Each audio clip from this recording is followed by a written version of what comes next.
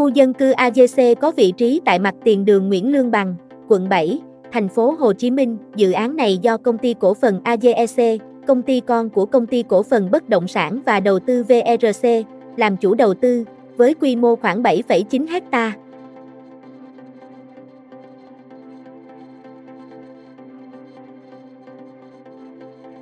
Tại Đại hội đồng cổ đông thường niên năm 2024 vừa được tổ chức mới đây, cổ đông của công ty cổ phần bất động sản và đầu tư VRC đã thông qua chủ trương cho AGEC chuyển nhượng một phần khu dân cư AGC. Đồng thời, giao và ủy quyền cho người đại diện pháp luật của VRC xem xét, biểu quyết thông qua phương án chuyển nhượng diện tích đất cụ thể tại Đại hội đồng cổ đông của AGEC.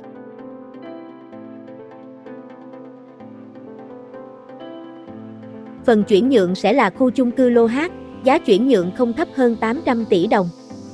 Mục đích nhằm bổ sung nhu cầu vốn hoạt động cho AGEC.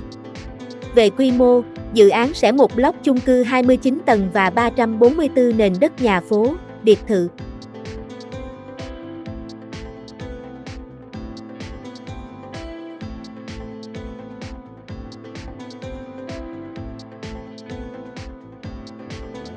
Xung quanh dự án này cũng tập trung khá nhiều dự án bất động sản, có thể kể đến như Q7 Boulevard của chủ đầu tư là công ty cổ phần tập đoàn Hưng Thịnh, The Ira Tao của công ty cổ phần Đức Khải.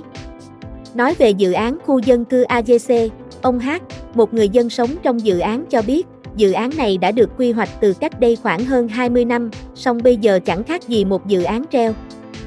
Ông H cũng bày tỏ sự bất bình của người dân mua dự án nhiều năm nay đối với chủ đầu tư, khi dự án này vẫn đang án binh bất động. Cùng với đó, ông cũng cho rằng việc chuyển nhượng chung cư lô hát của dự án sẽ rất khó khăn, khó có thể thực hiện được. Ông cũng thông tin về việc dự án này hiện vẫn chưa được thành phố chấp thuận chủ trương đầu tư trên toàn dự án. Về kế hoạch hoạt động bất động sản năm 2024, VRC cho biết, doanh nghiệp sẽ tìm kiếm đối tác để cùng triển khai khu đô thị mới Nhà Bè, 90,4 ha, tại các xã Nhân Đức và Phước Lộc, huyện Nhà Bè. Hoàn tất pháp lý, cấp giấy chứng nhận quyền sử dụng đất cho khu dân AGC Long An, 9,6 ha, tại thành phố Tân An, Long An.